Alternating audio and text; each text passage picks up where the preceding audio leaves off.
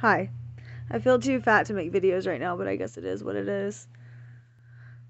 I'm doing another lazy ass video just from my bed because I'm cold and I work a lot and I don't have to wear makeup for five more hours. We're required to have a full face of makeup at work and it's really itchy and uncomfortable and I hate being uncomfortable. And uh, I get worried about my skin too. Especially after getting older, it sucks. Anyway, I wasn't really sure what to make a video on today, but then I just thought I want to talk about my cunt mom some more. Um, God, I'm trying so hard to take um out of my fucking vocabulary, but it ain't happening.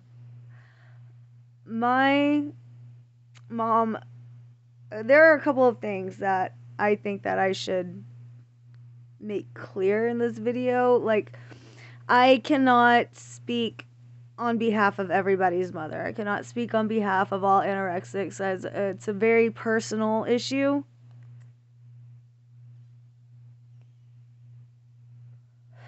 Long annoying pauses, I'm sorry. It's um I don't know if necessarily trauma leads to this or because like it could I think it could be offset by anything and anything can be trauma. However, I don't the thing about trauma and people with addictions and problems or whatever causing it, like I don't like I've met people with like way more fucked up lives I than I have and they're functional and they're fine. You know what I mean? It's like whenever somebody does a documentary on serial killers or something, I'm like but there are lots of people who have had childhoods like that and they don't go on to do you know what I mean?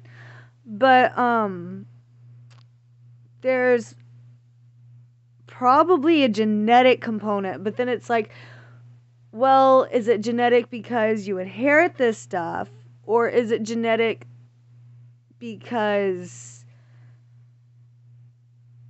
you know they they witnessed it from their parents and then their parents witnessed it from their parents and so on and so forth. So it's like a gen- generational trauma you know what i mean? And i really think that like a&e like shows like intervention shows like whatever where you know, any reality TV, like even fucking American Idol, like you're not auditioning with singing, you're auditioning with your like sad, tragic backstory, you know? People got really, really, and it, you know, it's a good and it's a bad thing. Like, it's good that we're seeing like people in all of their lives for what it's worth, and we're trying, like, I, I feel like it's us as a society, at least, like, it's definitely better than taking mentally ill people and shoving them all into an asylum and like torturing the crazy out of them or something or thinking that it's demons or some shit. Like i think we're closer um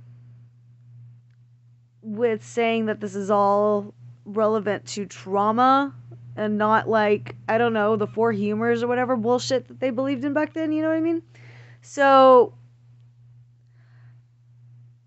uh, my mom and how this all ties in with her.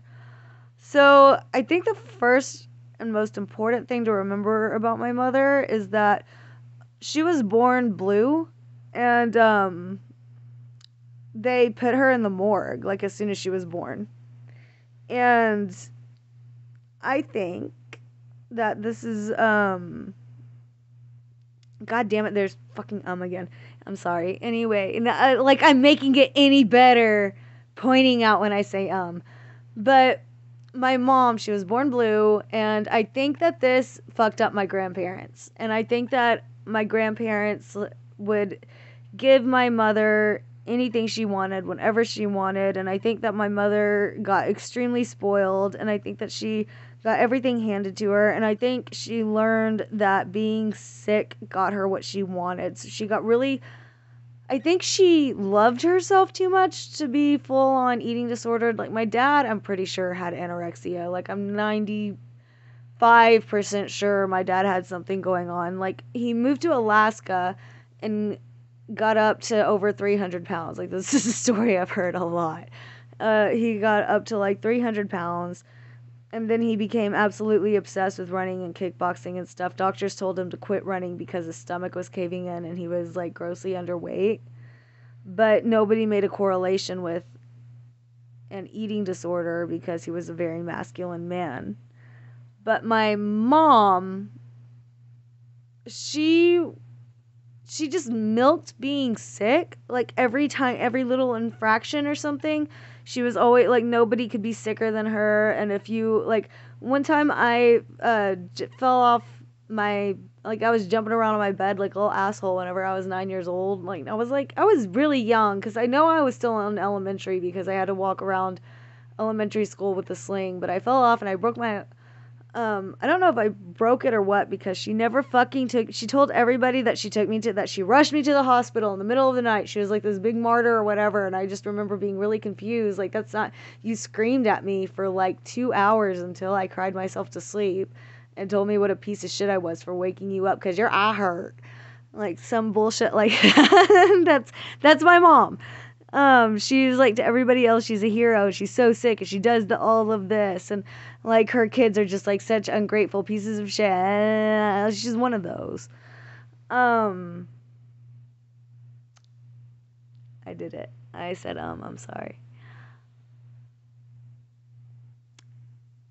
I don't know what her deal with food was. There was a deal but it would be more on like the OSFED EDNOS spectrum than I like I don't know if any of these things are actually different like legit I don't think that they're legit different illnesses. I think that they're different expressions of the same thing. And I don't know if I could my parents how all of this relates to me.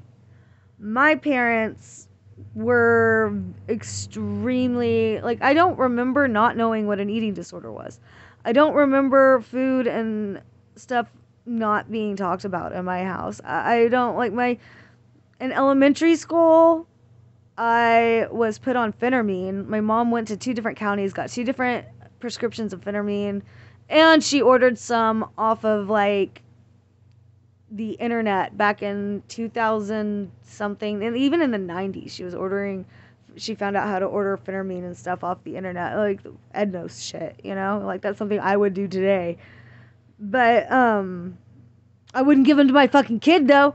But yeah my mom my mom and my dad kept putting this idea in my head that my weight would fix like fixing my weight would fix everything. I got really fat around um, eight or nine years old. I and I mean like uh, this. The, there are emotional components to it for sure. Like it gets worse as things happen to you. Like everything that I was dealing with that year, I guess I just kind of turned to food for. And I got up I I remember in elementary school I got up to like around 150. And uh, by the time I went to junior high, I was 160. And my parents flipped their shit. They do not want us to be ugly. They were on me about it. Like, all of the conversations I had with my parents in my early years of life were like, you better believe in God and you better stop fucking being fat. And, you know, we really didn't. My both my parents, especially my father, uh, had a lot of good points too. I don't want to just shit on my parents because it's hard to be a parent. It's uh, especially back then, nobody knew shit about mental health back in the 90s and stuff. Nobody knew shit about what was causing what. Nobody knew shit about they they it was a different time, you know? But and my parents did their best and I appreciate everything that they tried to do. And i do think that they were they thought they were looking out for me. I, I do think that they thought well being pretty is probably the only thing i'll ever have going for me if i fuck that up by being fat and having glasses and being um weird then i'm gonna have no chance at life. Like i, I really think in their heads for the most part they thought that they were doing what was best for me. Um uh, definitely towards my father's later years of life, uh, like right before he, maybe like two or three years before he died, I definitely started noticing. Um, he kind of did a 360, and he uh, maybe he noticed that I was that something weird was going on with me. I don't know. He was a very intuitive person. He could pick up things like that pretty easily. And um, he was a very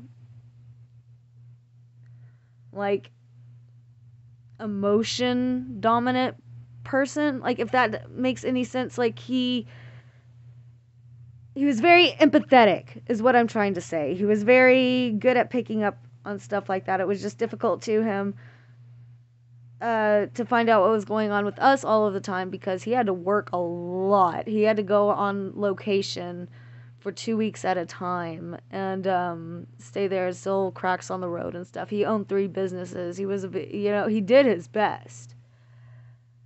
Um, I don't think that he understood anything that was going on with him. I, I think he saw it as like you know, reaching some kind of nirvana or some bullshit. Like he was really into karate, he was really into like spiritualism and bullshit like that. So, um, which I think isn't uncommon, especially for like disorders that have no influence from like societal bullshit. Like, well, it doesn't, it doesn't. What media is what I mean. Um, I think that eating disorders could either be influenced by like media stuff, but I also think like the Victorian fasting girls and stuff like that, I think uh, were also eating disorders, but instead of like, oh my god, I have to look exactly like this model or I have to look like whatever, it was just like, oh my god, I have to be absolutely pure for God. You know, it's it's the same thing, just